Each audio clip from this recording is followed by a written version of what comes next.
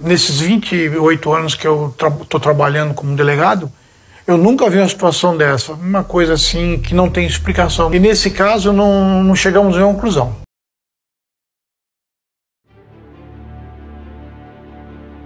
Fevereiro de 1994, Pedro de Toledo, interior de São Paulo. Manuel Vaz, dono de um sítio chamado Vale do Entardecer, onde ele criava alguns animais e produzia cachaça artesanal. Manuel viajou até a cidade de São Paulo para vender a sua produção de cachaça artesanal e deixou o seu caseiro José Marlone de Souza tomando conta do sítio. Depois de alguns dias em São Paulo, vendendo a sua produção de cachaça, Manuel retornou ao sítio e lá resolveu fazer uma visita ao seu caseiro, que ficava hospedado em uma pequena casinha de pau a pique. Ao chegar na porta da casa, Manuel se deparou com a primeira situação estranha. Haviam alguns pintinhos mortos como se estivessem queimados, todos na porta da casa. E dali mesmo, Manuel começou a chamar pelo seu caseiro e notou que a porta estava trancada e ninguém respondia. E ao olhar pela janela da casa, Manuel se deparou com uma cena tenebrosa o corpo do seu caseiro José Marlone estirado no chão e completamente carbonizado. Infelizmente, a plataforma não permite mostrar a imagem completa sem o desfoque, mas para quem quiser ver a imagem sem o borrão, haverá um link na descrição do vídeo, mas eu não recomendo vê-la.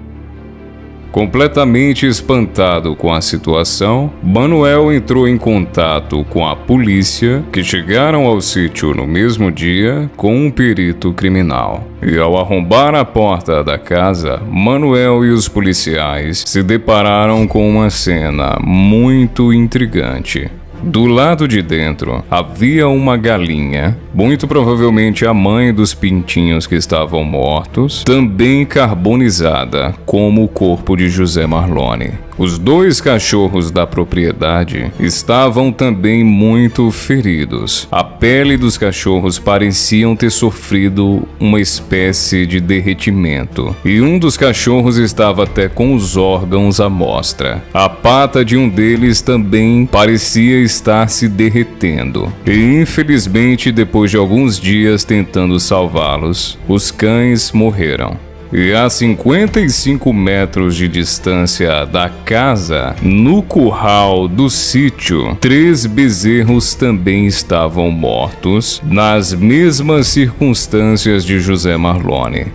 Os peritos, ao analisarem o corpo de José Marlone, não conseguiram compreender a situação. Seu corpo estava completamente carbonizado, porém as suas roupas estavam intactas. Estavam manchadas, porém não foram queimadas. O seu corpo estava seco e não exalava nenhum odor e a sua pele tinha um aspecto e textura de borracha derretida. Os seus lábios e nariz foi completamente derretido e os seus cabelos se desprenderam do couro cabeludo. Fato também estranho que eles não foram queimados. Ao redor do corpo de José Marlone e também dos animais mortos havia uma espécie de pó branco que, mesmo com testes químicos, não foi possível encontrar a origem do mesmo.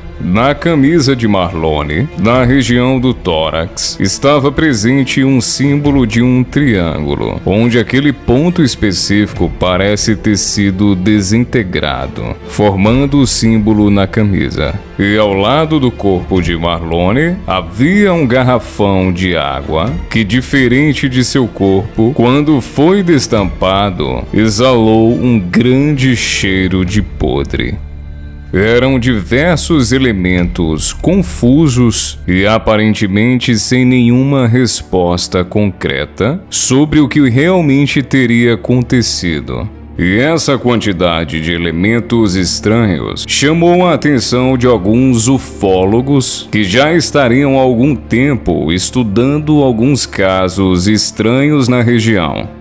Edson Boaventura, grande ufólogo conhecido no Brasil, dono do canal Enigmas e Mistérios, possui uma grande quantidade de materiais investigativos sobre o caso de Toledo. Na época, Edison e mais dois outros estudiosos da área, Carlos Alberto Machado e Suzelinton Saga, se empenharam na investigação do caso de José Marlone devido à grande quantidade de avistamentos de OVNIs nas regiões de Peruíbe e na própria Pedro de Toledo. Em um documento Telex oficial da Polícia de Mongaguá, que está em posse de Edson, mostra que em fevereiro de 1994, poucos dias antes do acontecimento com José Marlone, moradores de Mongaguá reportaram à polícia avistamentos de OVNIs que, ao ser averiguado, a própria polícia reportou ter perseguido objetos voadores não identificados que emanavam luzes de diferentes tonalidades.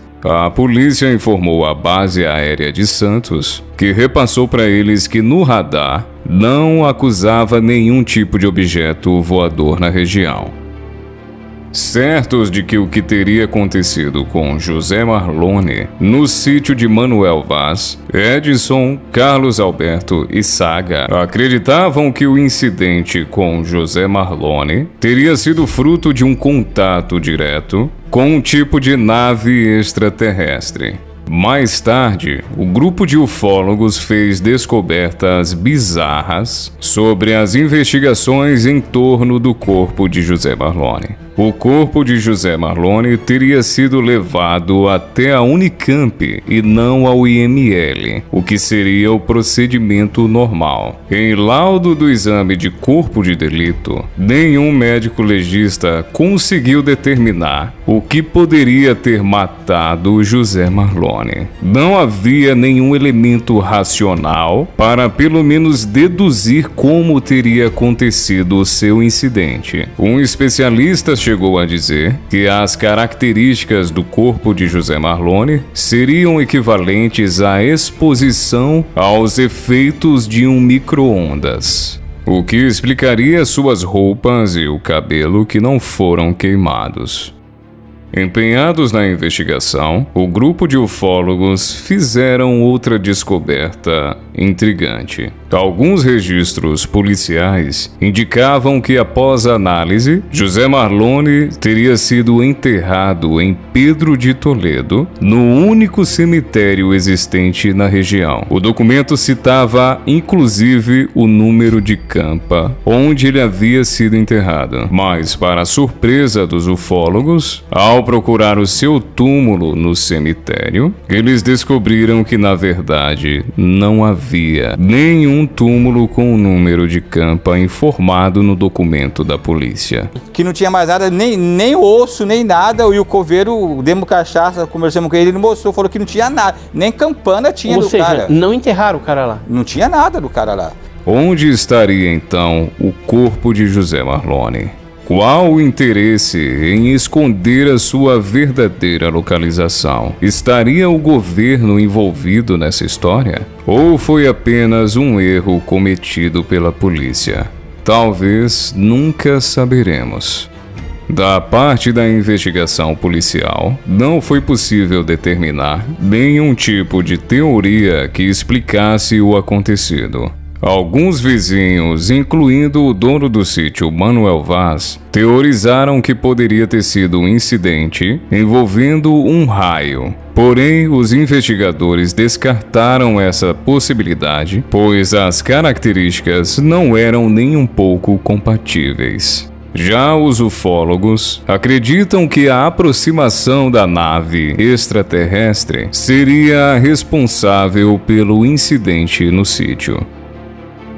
Alguns anos depois, o ufólogo Edson chegou a conhecer alguns parentes de José Marlone, que inclusive nem sabiam que o parente havia falecido. E Edson descobriu através dos parentes de Marlone que, na verdade, na época, Marlone estava foragido da polícia do estado do Ceará, pois lá ele havia se envolvido com o assassinato, fugindo então para o estado de São Paulo, no interior, e encontrando no sítio de Manuel Onde o acesso era dificultoso, o local ideal para se esconder. Só não sabia Marlone o que o destino havia lhe reservado. Esse caso envolve questões e mistérios que vão além da compreensão humana. E as teorias ufológicas são as que melhor se encaixam na análise do incidente. Para melhor compreensão dessa história, eu recomendo a leitura do livro Estranha Colheita, do ufólogo Carlos Alberto Machado.